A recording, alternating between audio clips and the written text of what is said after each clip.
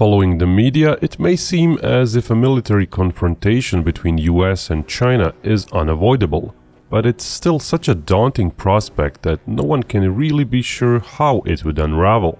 If the US and China do go to war, such a conflict might last not months but years. And in those years, how much would industrial output help decide the war's outcome? What sort of industrial output could the two sides even count on? This video will try to cover all that, explore each side's industrial potential when it comes to ships, aircraft and missiles. It will also look into the US ability to blockade China and perform strikes on Chinese industry. Are oil, iron ore or semiconductors China's Achilles heel? The video will explore all those questions and try to provide some sort of an answer.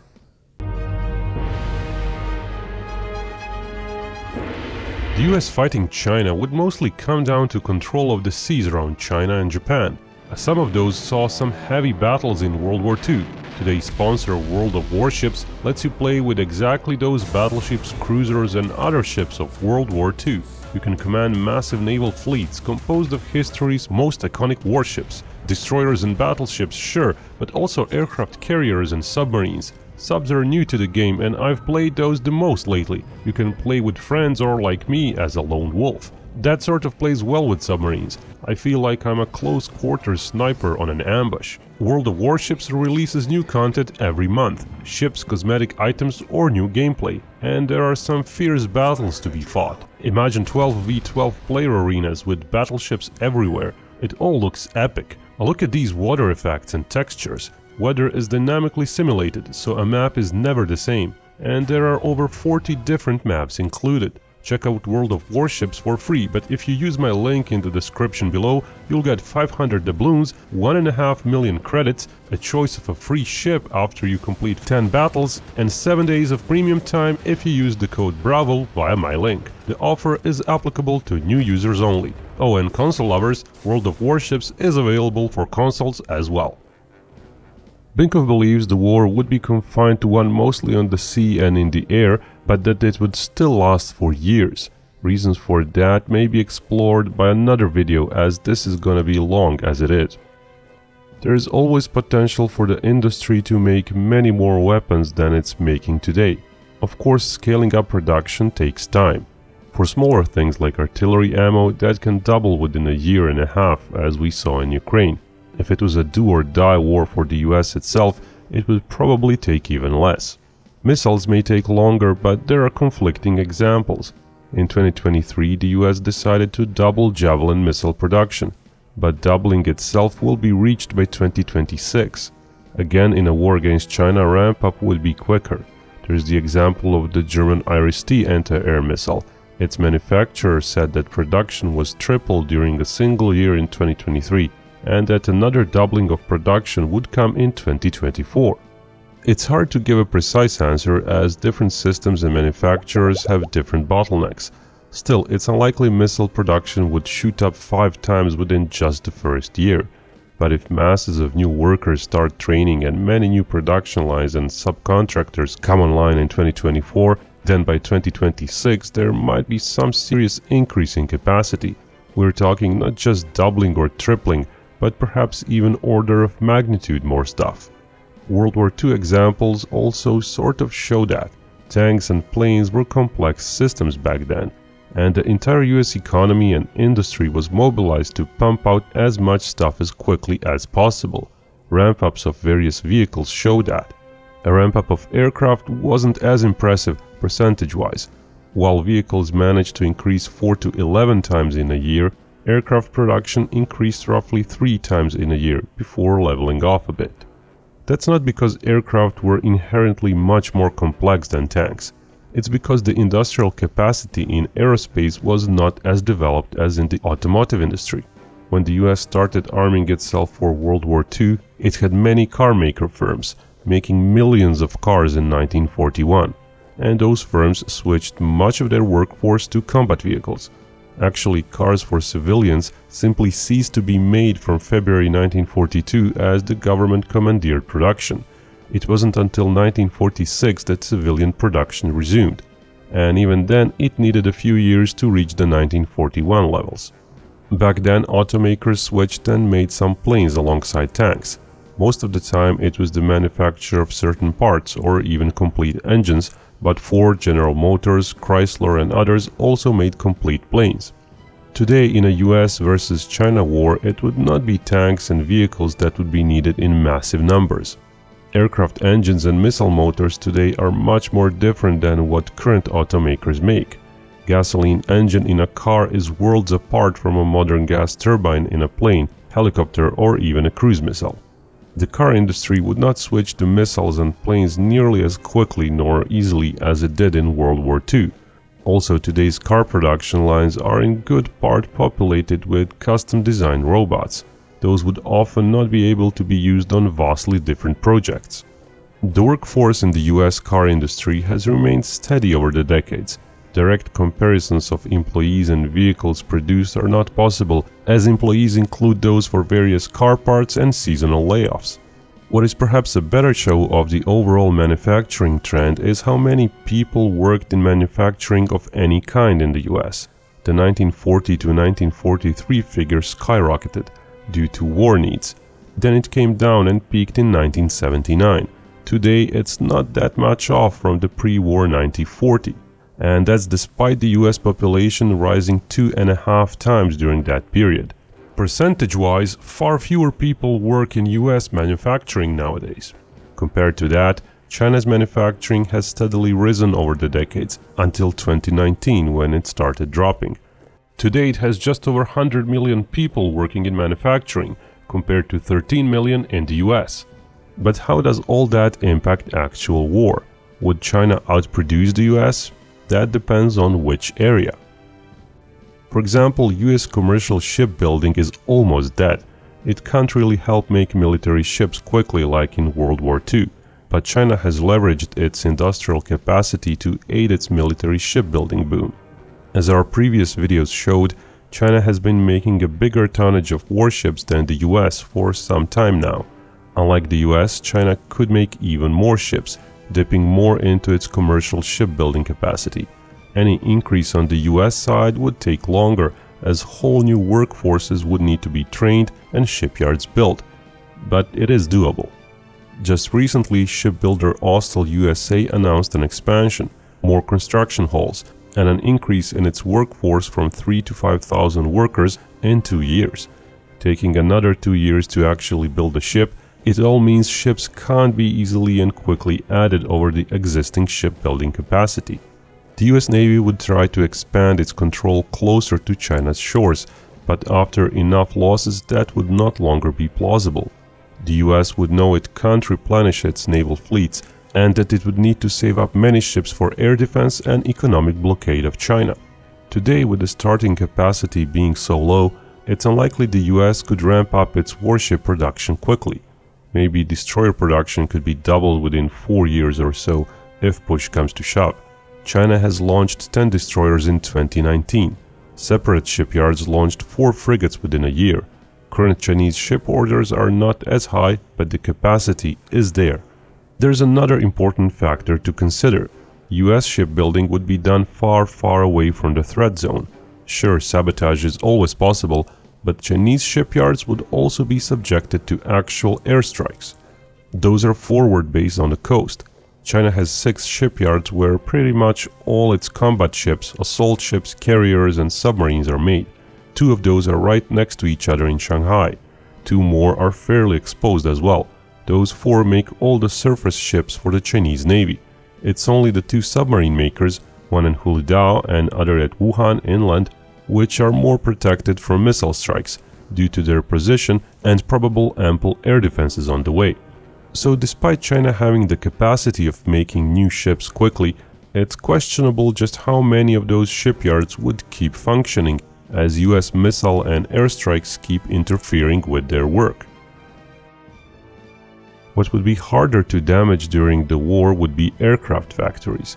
Some of those facilities are so far inland that they would see fairly few attacks, Others closer to US forces or delivery points of US aircraft might see their production quite curtailed, like Shenyang's facilities up north.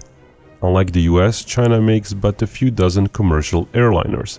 In theory, their makers could switch to wartime production just like US Boeing facilities would, but China's facilities are located around Shanghai, making them very susceptible to attacks. China today likely makes some 160 combat planes per year. Their export plane capacities account for just a dozen or two planes, unlike US ones, which account for over a third of the US baseline figure. Lacking a big commercial plane sector, China's second year would add little and would keep suffering from a small base until several years into the war. The US could ramp up to higher numbers once it converts its Boeing airliner lines to work on combat jets. We actually made a video on that exact topic. China's missile production facilities are numerous and not well documented, but given the smaller footprint, those could likely be more easily relocated inland. Aircraft makers too could relocate in theory, though every relocation of lines means periods of no production, which is sensitive in a war. Six months could easily be needed to relocate machinery even in war-expedited circumstances. Missiles and various drones would of course be of utmost importance in a war in the skies and over the sea. There is sadly simply no information on how many missiles of which kind does China make. Even the missile inventories are basically just guesstimates. But the underlying manufacturing base does favor China. We know that China since 2012 launched or added 69 ships with medium or long-range SAMs. Each is roughly equivalent to one or two SAM batteries. In the same time period, China added almost 100 medium and long-range ground-based SAM batteries, in addition to ones for export so it's plausible China today can add 17 or more medium or long-range SAM batteries each year, with a corresponding missile inventory. Whether those figures could be doubled in a year, two years or three years, that's harder to say. US SAM production is somewhat higher than DoD production shown here, but not by much. Legacy Patriot missiles will also be produced in Europe soon. Actual deliveries lag procurement years by roughly two years. Comparing cruise missiles and ballistic missile production is simply not possible as there is no data coming from China. Given the number of launch platforms added in the last 15 years, one can assume at least 250 missiles per year for China, but it could easily be a few times higher than that. Numbers shown are for US procurement only, and exports do add to those figures. For example, Tomahawks for Japan add 130 missiles per year capacity-wise. China's production of cruise and ballistic missiles may or may not be currently higher than the US one, but given the bigger industrial base, it's plausible China might increase such missile production more quickly than the US. Perhaps more dangerous for the US would be simple and cheap piston engine driven munitions, sort of like Iran's Shahed kamikaze drones. Those aren't cheap FPV drones, but munitions costing a few tens of thousands of dollars. While there were no such drones shown in China before the war in Ukraine, their simplicity is such that Chinese industry can potentially make thousands per month after months of production line setup. Scooter makers could help make piston engine missiles. Shahed's engines were allegedly sourced from China anyway. The US too is trying to leverage the commercial sector to make thousands of drone munitions as well. We made a video on that too, but given China's manufacturing advantage, it's plausible China might far surpass US figures there. What remains a bigger question is just how useful would hundreds of such simple and slow munitions be. So China is likely to go on the defensive in early stages of the war due to US advantage in planes, ships and missiles, but soon that US advantage might melt away, at which point Chinese industrial output advantage might mean more missiles and munitions for China, possibly some more ships and subs, though that's harder to say. Certainly not initially until the US runs out of most missiles to harass China's shipyards with. After some years, US advantage in aircraft numbers would again start appearing. Though if the US presses into China, local numbers might again not favor the US due to sortie rates and distance woes.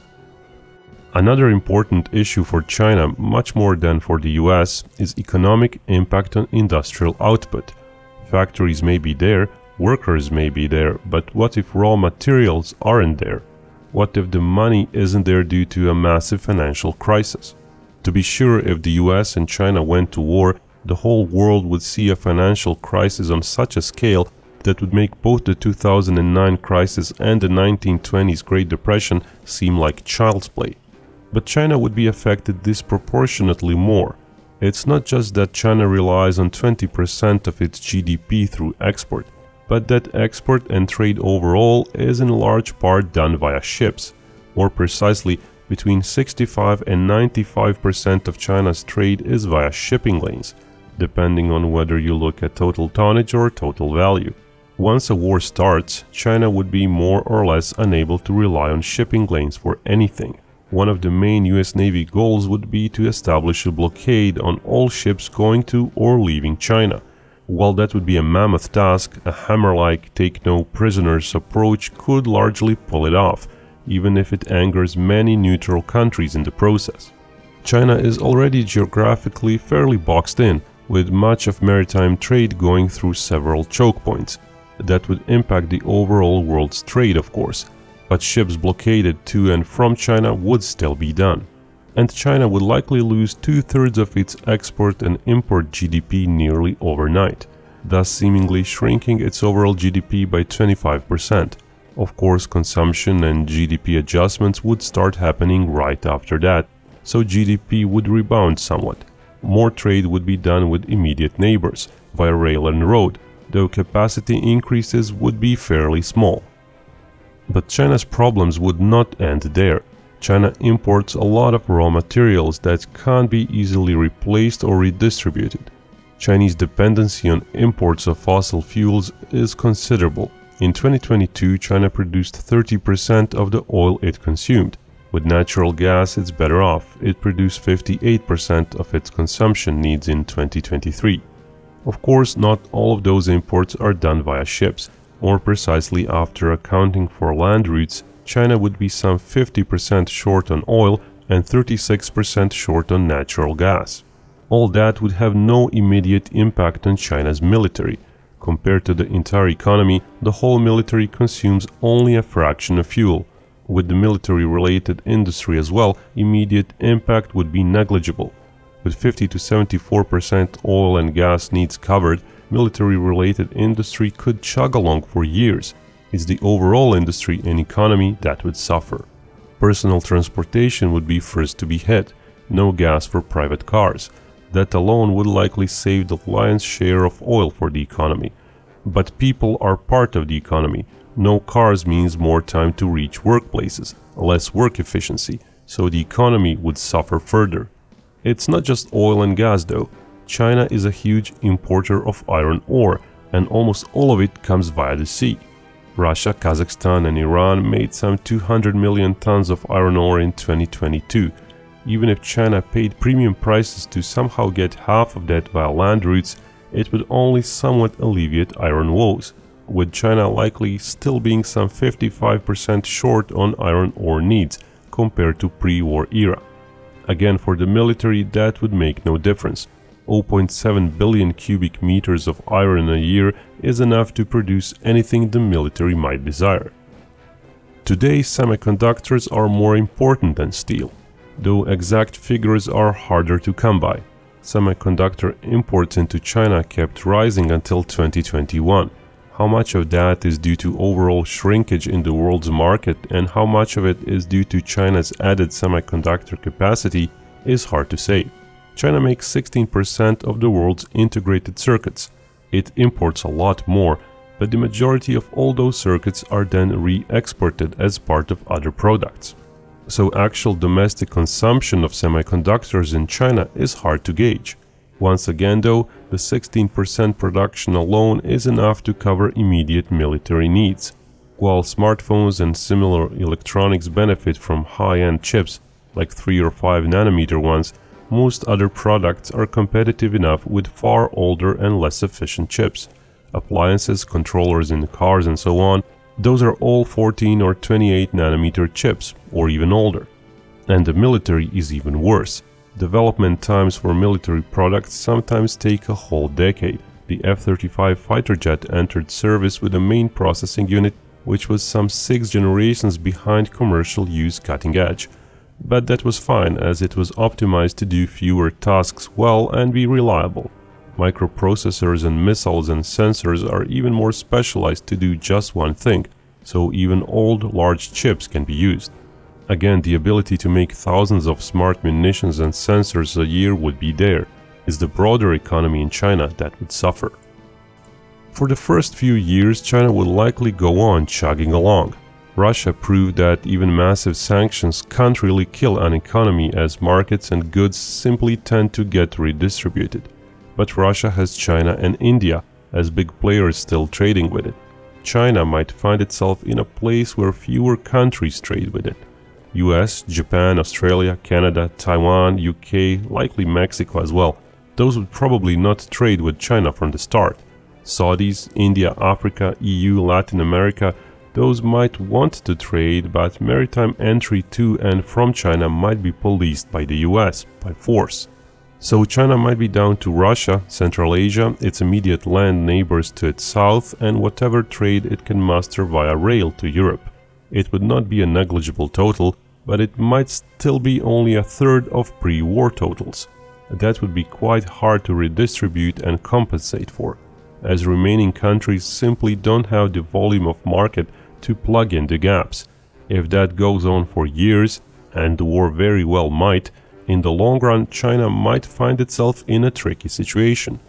Militarily it would be able to defend itself, but years of economic pressure might start internal dissent leading to a ceasefire, even if not all immediate goals like control over Taiwan are achieved. Basically, the timeline of the war would see a curve where both US and China's military power would drop due to the start of the war. Over the years, both sides would increase their military output. China would likely see their curve rise more steeply in the first few years. China might be able to use that advantage to take some territories. That's far from assured, of course and at a certain point, as US attacks on fuel and electricity production continue, the economic woes and market access woes would pressure China more than the US. China's industrial output advantage and eight times more workers in manufacturing, those would diminish. To what extent, that's hard to say. But it's possible that the US might, in a multi-year war, regain the industrial output edge when its allies are included. The outcome might be a world divided, with a ceasefire eventually put in place and China alongside certain Central Asia countries locked into its own economic ecosystem, while the rest of the world goes on in a separate ecosystem. There would always be some basic trade between them, but China's industrial output will likely be past its highest point, achieved today. Of course, no one can predict even 5 let alone 10 years into the future so political infighting might change the predictions laid out in this video by quite a bit. And don't forget about World of Warships and their offer. Use my link below the video and you'll get 500 doubloons, 1.5 million credits, a choice of a free ship after you complete 10 battles, and 7 days of premium time if you use the code BRAVO via my link. The offer is applicable to new users only. And remember, Binkov may talk about war, but only real peace can bring us all together.